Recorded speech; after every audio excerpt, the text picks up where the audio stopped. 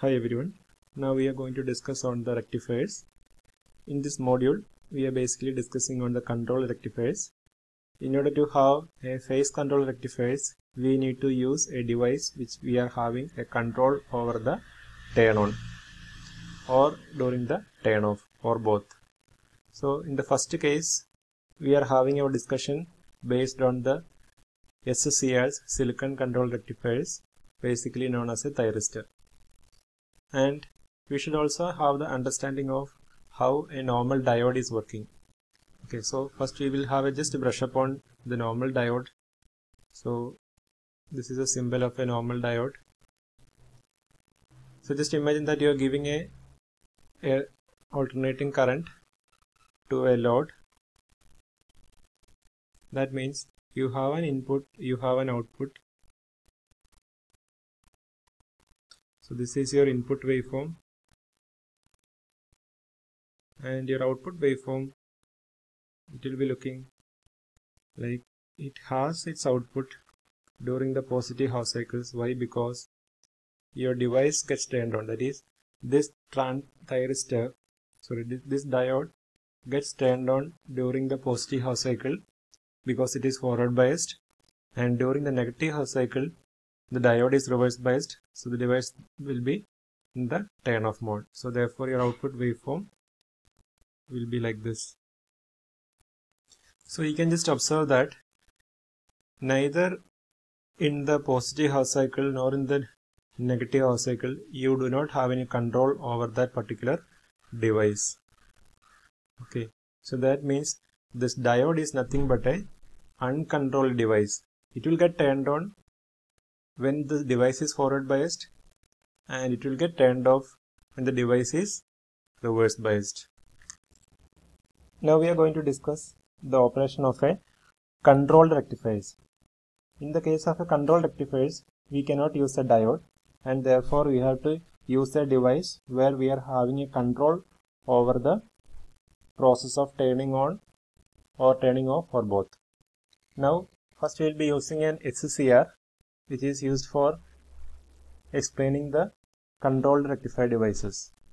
So uh, the symbol of an SCR is like this. And this device it can be turned on at any instant of time when the device is forward biased. But in the case of a diode the device could get turned on by the time the device get forward biased. But even though the device in the case of an SCR even though the device is forward biased you can control the instant at which the device gets turned on or get it triggered so just imagine that you are having applying a sinusoidal waveform and then you are having a load. So you are having your input waveform and you are having your output waveform. So this is your input waveform.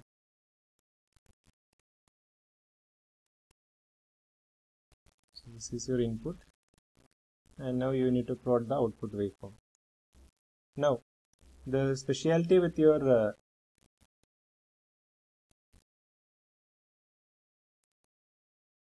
control rectifiers is that when you are using thyristor, the, this thyristor get turned on at any instant of time when the device is getting forward biased that is during this region. Once your SCR is forward biased, you can turn on the thyristor at an instant of time. That is why it is known as a controlled rectifier. Now, in order to turn on the device, you can use a forward voltage triggering, you can use the gate triggering, you can use the dV by dt triggering, or any other methodologies which are existing. But in many of the cases, we are preferring the gate triggering. That is the best and suitable way of turning on the thyristor.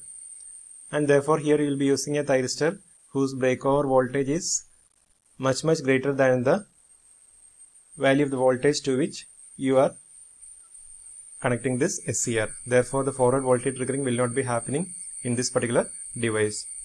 So now the when the device is forward biased, when the device is forward biased, then you can apply a gate voltage in order to turn on the device by giving the gate positive with respect to your cathode negative. that means you are trying to apply a gate voltage over here. So when you're giving a gate voltage so you can give the gate voltage at any instant of time. It can be at the 0 it can be at uh, pi by 4 pi by 2 like that at any instant between 0 to pi so just imagine that I am applying the gates signal at pi by 4 let it be like this. So this is nothing but your VG that is the gate voltage. That means your device will get turned on at pi by 4 now if I am plotting your output waveform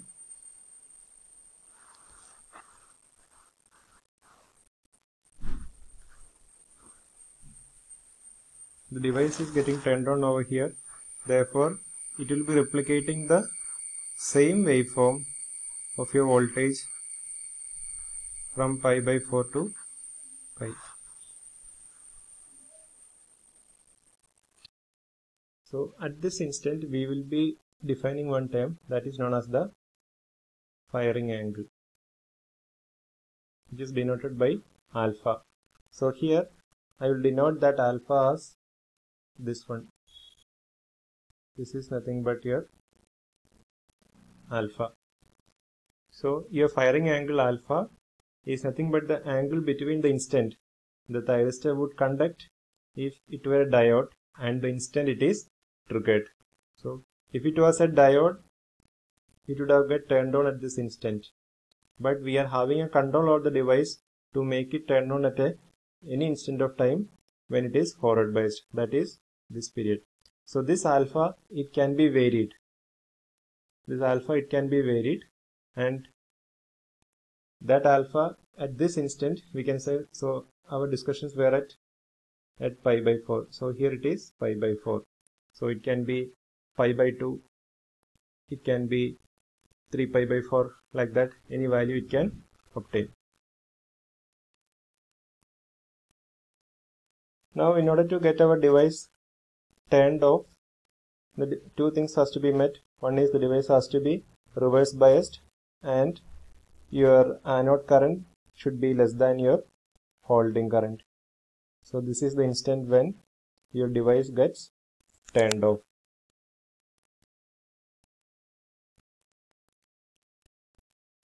So understanding the concept of the reverse biased condition and the current lesser than your holding current is also uh, important in order to in order for further discussions. So so to have a future discussions uh, please get revised through how your device is getting turned off which you are discussed during our static IV characteristics